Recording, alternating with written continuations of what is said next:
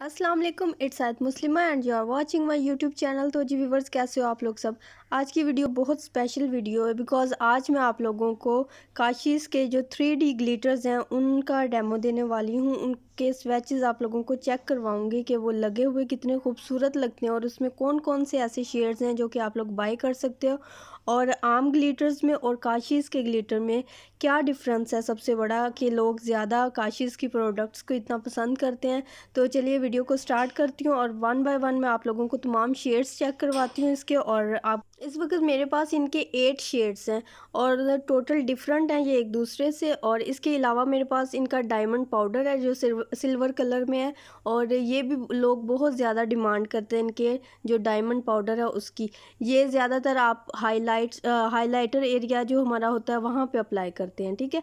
तो ये मैं आप लोगों को नंबर्स के साथ आप लोगों को बताऊँगी ताकि अगर आपने बाय करने हो तो आपको कोई मुश्किल ना हो, ठीक है?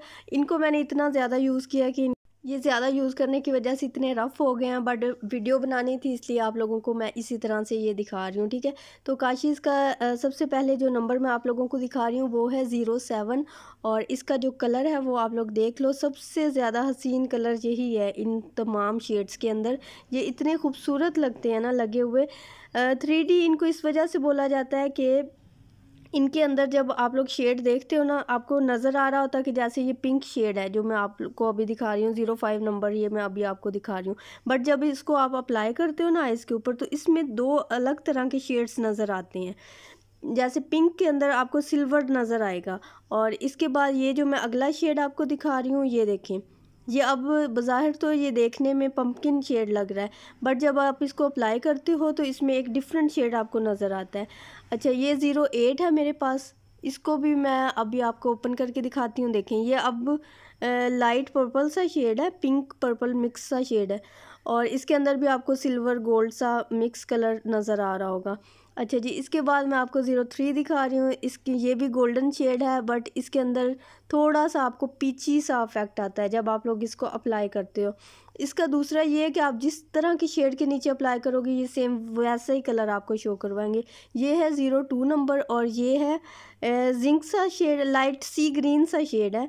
और इसमें भी जो आपको चंक्स नज़र आ रहे हैं, ये सिल्वर से और पीची से कलर के नज़र आएँगे। ज़ीरो नाइन नंबर अभी आप आपको मैं दिखा रही हूँ, ये देखें।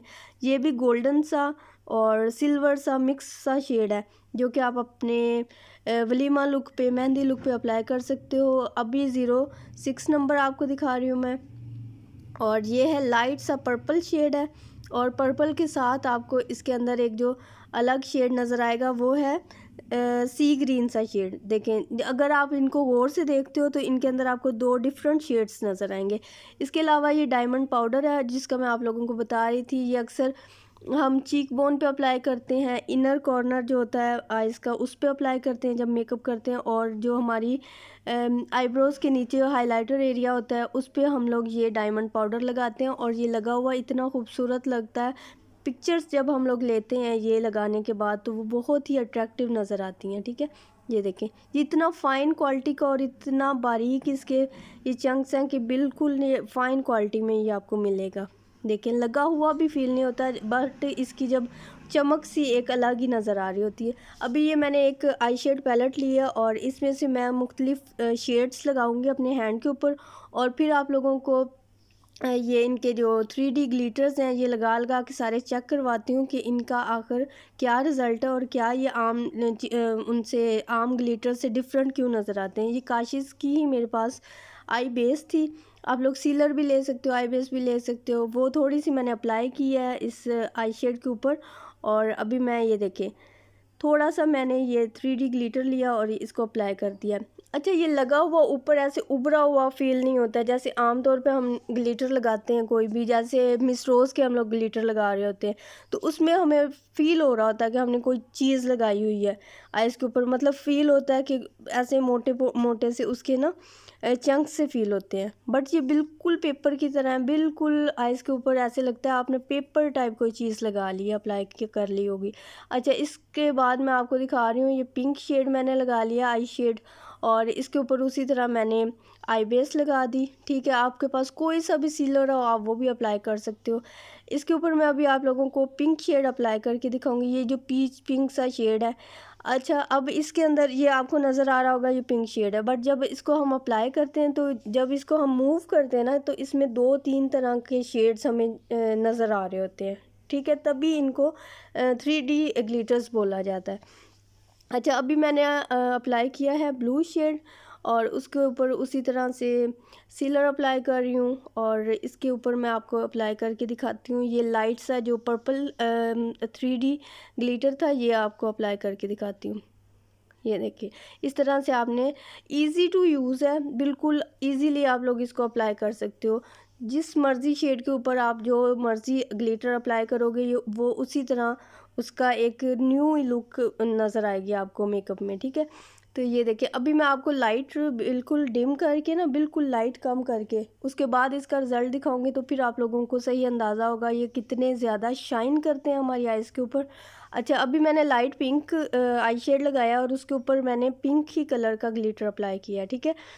अभी मैंने यहाँ पे लगाया है एक येलो कलर लिया डार्क येलो सा कलर लिया है और उसके ऊपर मैं आपको वही गोल्डन शेड जो मैंने आपको दिखाया था थ्री डी ग्लीटर जो गोल्डन शेड में था, वो इसके ऊपर अप्लाई करके आपको दिखाऊँगी। और ये लुक अक्सर मैं मायों की दुल्हन हो या मेहंदी की दुल्हन हो, उसके ऊपर अप्लाई करती हूँ। ये मेकअप और बहुत ही ज़बरदस्त सा लगता है। जस्ट आप वन शेड अप्लाई करो आई मेकअप करते हुए और उसके ऊपर ये जो थ्री डी ग्लीटर है, ये अप्लाई कर दो, आपका खूबसूरत सा मेकअप डन हो जाता है। और वो लगा हुआ भी इतना खूबसूरत लगता है कि आपको कुछ भी और अप्लाई करने की ज़रूरत नहीं होती। एक अच्छा सा आप विंग लाइनर उसके ऊपर लगा दो और आपका मेकअप डन हो जाता है। तो यहाँ पे आप लोग देख लो, मैंने तकरीबन फाइव शेड्स आप लोगों को लगा के अप्लाई करके दिखा दिए हैं। लाइट ऑफ़ करके मैं आपको इनके ये शाइन चेक करवा देती हूँ कि ये कितने शाइनी शिमरी से शेड्स हैं और कितने ज़बरदस्त लग रहे हैं, ठीक है? तो ये आप लोग देख लो, बिल्कुल डिम लाइट में, जितनी लाइट्स ज़्यादा होंगी ये उतने ज़्यादा शाइन करते हैं। और थ्री डी ग्लीटर का यही है कि आपको ये लगे हुए बहुत खूबसूरत सा शेड देते हैं। दो तीन तरह का मल्टी सा शेड आप लोगों को इसमें लगा हुआ नज़र आता है। सेलोन में मैं डिफरेंट तरह के ग्लिटर्स यूज़ कर रही होती हूँ बट मेरे मोस्ट जो फेवरेट ग्लिटर्स हैं, वो यही काशिश के ग्लिटर हैं।